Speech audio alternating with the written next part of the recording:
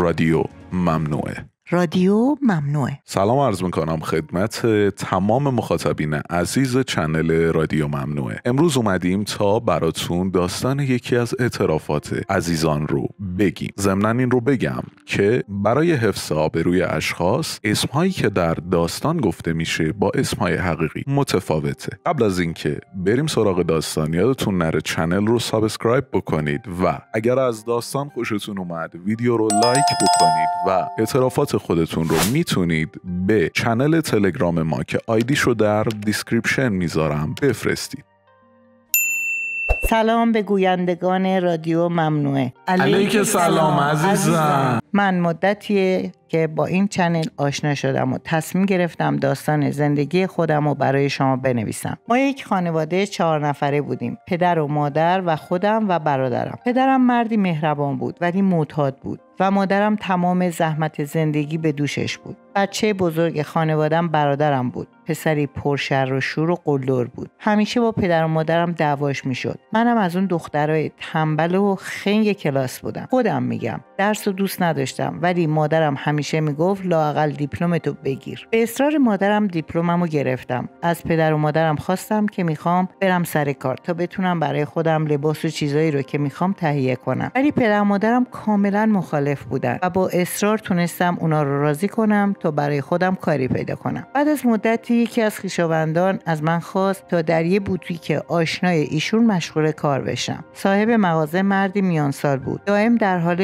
روزنامه خوندن بود و مغازش رو کاملا به دست من سپرده بود. منم از صمیم دل مایه میذاشتم و کار می‌کردم. جنس سفارش می‌دادم. مشتری جذب می‌کردم. خواستگار هم داشتم ولی به پدر مادرم می‌گفتم من همسر آیندم و باید خودم انتخاب کنم. از این جر و هم با هم داشتیم. صبح تا از کار می‌کردیم. بعد کار هم برای خودم بودم. صاحب مغازم از صبح تا عصر برای خودش بود و هیچ کاری به من نداشت. یه روز که در مغازه بودم یه مرد نسبتا خوشتیپی اومد در مغازه گفت لباسای شیک مردونه می‌خواد. ما هم لباس مردونه داشتیم هم لباسای زنونه شیک داشتیم. براشون لباس مردونه آوردم و خرید خوبی کردن. بعضی اوقات هم با دوستاش میومد و می‌گفت لباسای دخترونه می‌خواد مثل اینکه عادت کرده بود از مغازه ما خرید کنه. البته بعدها فهمیدم برای دیدن من میاد. لباس خریدن بهانه ای بوده برای اینکه منو اونجا ببینه. من اونجا با اشکان آشنا شدم. اشکان چهار سال از من بزرگتر بود. خانوادهش هم در شهرستان زندگی می‌کردم و خودش تنها زندگی می‌کرد. و پسر مستقلی بود. وضع مالی خوبی داشت. البته در مورد کارش نه من میپرسیدم نه خودش می‌گفت. ولی معلوم بود وضع مالی نسبتا خوبی داره. البته من نه از ایشون بدم اومده بود نه خوشم اومده بود. ولی بهش عادت کرده بودم که هر رو ببینمش. البته این اواخر فهمیده بودم به خاطر من میاد. اینم بگم ما هیچ رابطه ای نداشتیم. طوری بود که هر روز ده دقیقه میومد کمی صحبت می‌کرد و می‌رفت. منم دختر دلنشینی بودم و خواستگارهایم داشتم ولی من هیچ شناختی رو اونا نداشتم. یه روز اشکان گفت اگه شما ناراحت نمیشید من شماره همراه همو میدم. دلتون خواست گاهی به من زنگ بزنی. یه احوال پرسی بکنیم منم که تقریبا شناختی از اشکان پیدا کرده بودم قبول کردم. احساس می‌کردم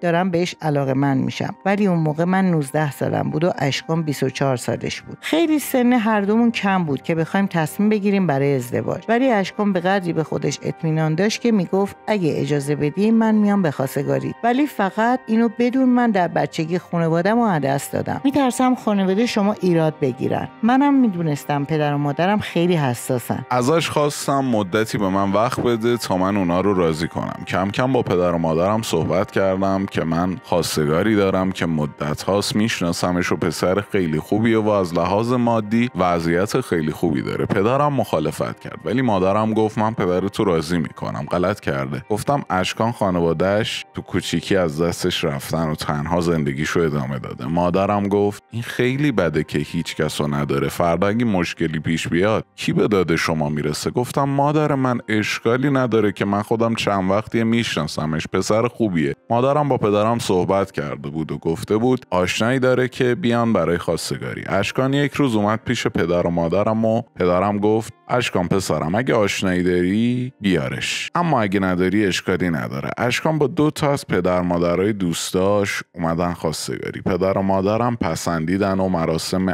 عقد همون هفته انجام شد. پدرم هرچی از اشکان خواسته بود تهیه کرده بود. کار اشکان باشگاهداری بود. اون دوتا سالن باشگاه داشت و بسیار بعض مالی خوبی داشت. ما عقد کردیم. پدر و مادرم گفتن تا روزی که عقد کرده هستید عروسی نباید بکنید. اشکان قبول کرد. قرار شد هشت ماه عقد کرده باشم. مادرم به من گفت نازی جان حق نداری تا روزی که اینجا هستی با اشکان رابطه داشته باشی. من قبول کردم ولی روز عقد هم اشکان با یک بوسه همه چیز رو تموم کرد. دوستام ازم میپرسیدن خب چیکار کردید؟ خجالت میکشیدم که بگم فقط یه بوسه بود و بس. تو این هشت ماه من جایی با اشکان نمی‌رفتم چون هیچ عکس عملی از اشکان نمی‌دیدم. تا اینکه موعد عروسی شد و من عروس شدم و به خونه اشکان رفتیم. شب عروسی خیلی خسته بودیم. اشکان گفت نازی جان امشب بخوابیم. منم خیلی خسته بودم. گفتم بله عزیزم بخوابیم. فردا شب شد. با اشکان رفتیم بخوابیم. که اشکان گفت نازی جان من رازی دارم که باید به شما بگم. من خیلی ناراحت شدم. گفتم عزیزم راز رو قبل ازدواج میگن. اشکان گفت من چون میترسیدم که تو قبول نکنی گفتم امروز بگم. داستانشو گفت که مادر و پدر من از نظر ژنتیکی با هم مشکل داشتن. برادرم که به دنیا میاد بعد از مدتی فوت می‌کنه. من هم از نظر مردانگی مثل زن هستم. ولی تمام نشانه های یک مرد رو دارم. تمام هورمون های یک مرد رو دارم و راه درمان برای من هست. و من برای شما و خودم بلیت فرانسه رو گرفتم. من یک جراحی دارم که یک مرد کامل میشم و بچه دار میشم.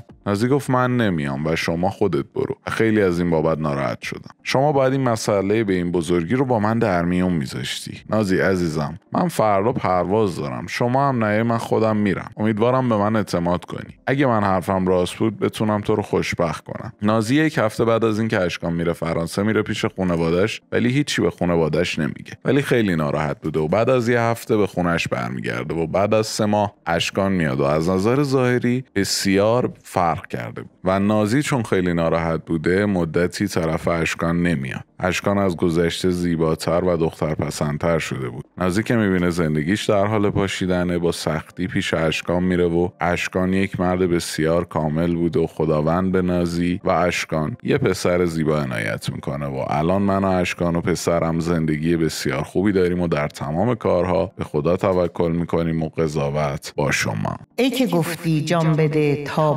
باشدت آرام جان. جان به غمهایش سپردم. نیست آرامم هنوز. تا داستان بعدی. با رادیو ممنوعه همراه باشید.